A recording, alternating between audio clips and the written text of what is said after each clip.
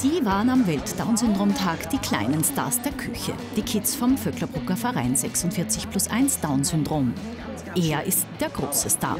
Mike Süßer, bekannt aus TV-Kochshows wie Die Kochprofis. Gemeinsam rockten sie zur Feier des Tages die Küche im Vöcklerbrucker Einkaufszentrum Varena. Wir schnippeln gerade wie die Weltmeister. Gell? Wir haben natürlich da ein bisschen was zu tun.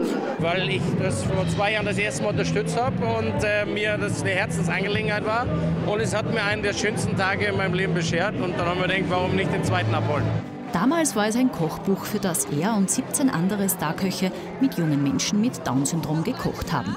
In Vöcklerbruck wurde live geschnipselt und mariniert. Dass Kinder mit Trisomie 21 oft unterschätzt werden, stört den Verein, der sich seit zehn Jahren für das Thema einsetzt. Dass einfach unsere Kinder so angenommen werden, wie sie halt sind und dass gut in die Gesellschaft integriert werden. Und das ist unser größter Wunsch. Das Besondere ist, dass sie sehr lernfähig sind dass sie sehr wissenshungrig sind. Und ich muss sagen, auch jede Mutter kann stolz sein, wenn sie ein Down-Syndrom-Kind hat. Hühnchenspieße mit Erdnusssauce auf Teigurkensalat, das Feiertagsmenü. Für die kleinen Köche eine Herausforderung.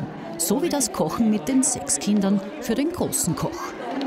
Sie haben geschnippelt, sie haben sich gefreut und äh, es hat absolut Spaß gemacht. Ne? Also die, auf einmal spielt es keine Rolle, ob ein Würfel akkurat geschnitten ist, er ist halt mit Leidenschaft geschnitten.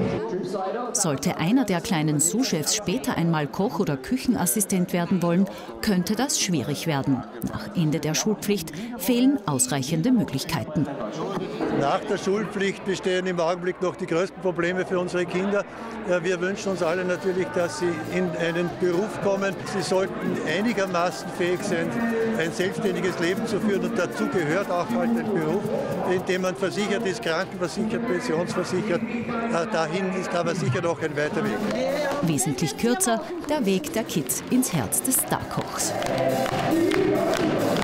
Die haben ja viel mehr drauf als wir. Eine große Dankbarkeit, eine große Freude und eine viel höhere Aufmerksamkeit an allem rundherum. Und das ist das Schönste. Die Hauptzutaten bei der Kochshow am Welt-Down-Syndrom-Tag: Herzlichkeit und Lebensfreude.